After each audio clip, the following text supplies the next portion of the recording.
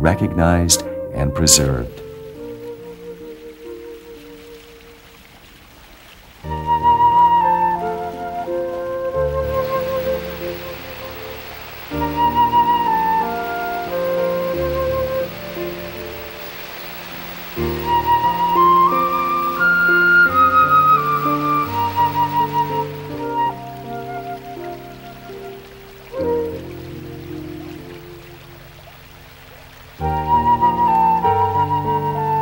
Additionally, Redwood National Park was designated as a part of the California Coast Ranges Biosphere Reserve.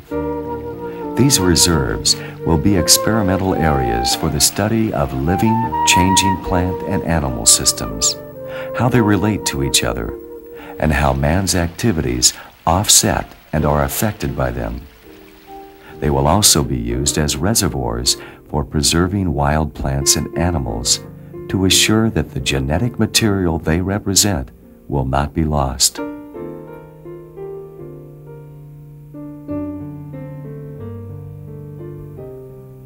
This is working in the right direction for future preservation of our Earth. Because of photosynthesis, carbon dioxide is taken from the air, and through the process, oxygen is released into the air.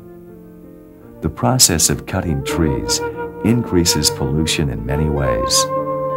When trees are cut down, we lose our air cleansing abilities.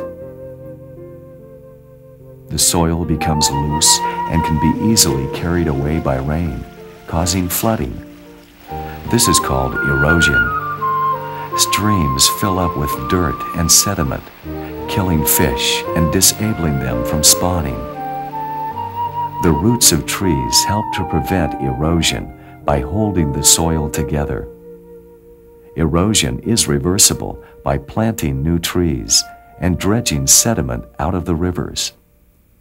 But it takes time for the trees to grow, especially redwoods.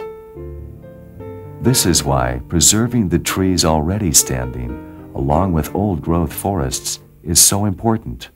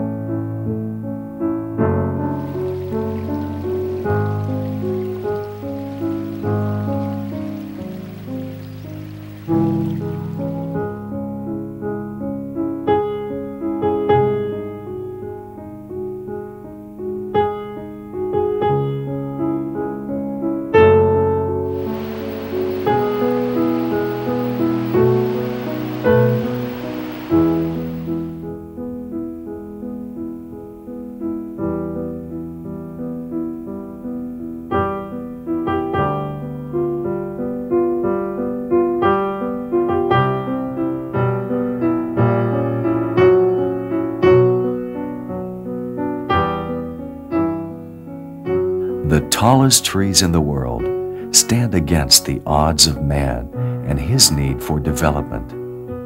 Now some of these trees are preserved, standing high for all time. Remember the beauty of redwood country, its delicate ecosystem, the mystical forests, and rugged coastline. These are the great California redwoods.